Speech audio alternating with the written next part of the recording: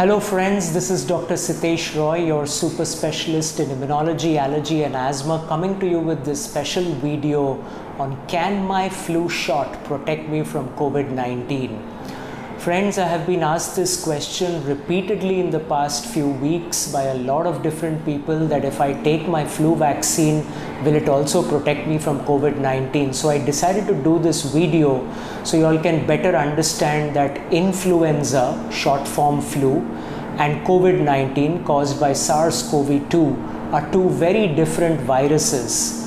Influenza belongs to a virus group called Orthomyxoviridae and SARS-CoV-2 belongs to a category called beta coronaviridae. So they are very different families.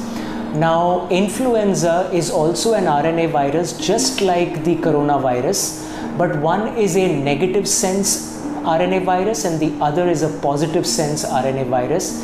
And the influenza virus has eight separate single stranded RNA segments, whereas the uh, SARS CoV 2 virus has a single quite long elongated RNA segment. So there are core differences between the structure of the viruses. There are also differences in the entire way in which a virus infects. So while the influenza group of viruses attach through something called sialic acid, the SARS-CoV-2 viruses attach through the well-known spike protein with the ACE2 receptors.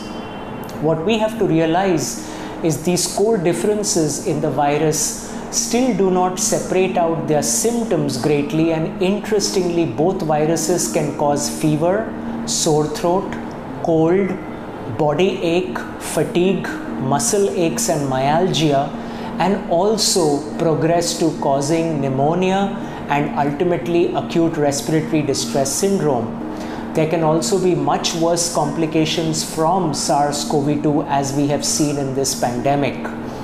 Interestingly, the loss of taste and loss of smell that is often seen with SARS CoV 2 is not seen with influenza that often unless someone has underlying allergies or sinus diseases which may affect their sense of smell when they get a viral infection.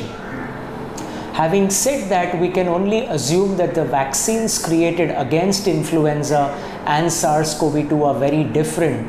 The influenza vaccine, which includes four strains, uh, or I would rather say different subtypes of two strains, influenza A and B, and also uh, does not contain the influenza C or D, which are not common known to cause pandemics or local epidemics whereas the influenza type A has been known to cause the uh, worldwide pandemic of 1918 called the Spanish flu, which took the lives of almost 5 crore people.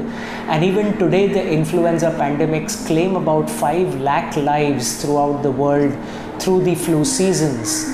SARS CoV 2, on the other hand, we know has been an ongoing pandemic because we don't have any immunity to it and the vaccine that is used for SARS-CoV-2, whether it is a mRNA-based vaccine or a vector DNA-based vaccine or an inactivated vaccine and soon to come protein subunit vaccines work very differently than influenza vaccines which are either inactivated viral vaccines or they are what are called attenuated viral vaccines used as a nasal spray for flu vaccine there are different technologies for both, but what we have to realize is the flu mutates itself a lot more than the SARS CoV 2 virus, and hence a new vaccine is released for the northern hemisphere and the southern hemisphere every year based on the most recently circulating viruses.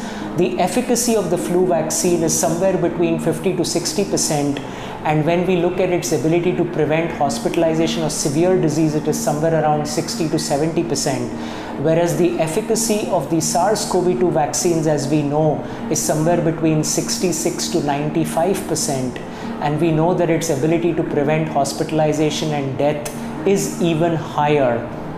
So with that friends recognize that influenza vaccine can protect you from the flu infection it's a very important infection to be protected from, especially for people who have chronic ailments and diseases. and respiratory diseases and other chronic diseases, but for everyone else also. And because of the overlap of symptoms, you don't want to be quarantined for 14 days just because you have fever, sore throat, and a body ache, when in reality it could be a flu which you could have prevented by taking the vaccination. So flu vaccine has its own benefits. SARS-CoV-2 vaccine has its own benefits. They bo- both work very differently on very different viral components. And another thing to remember is there is a gap of about 14 days recommended between the two vaccines if you really have to take them in the right way. So friends, work on your immune system. Keep yourself healthy with a healthy diet lifestyle exercise. Continue to wear those masks. Maintain social physical distancing. And also wash your hands. And while doing all that get vaccinated when the time is right and protect yourself from all viral infections. Stay safe. Stay immune. Till next time god bless us all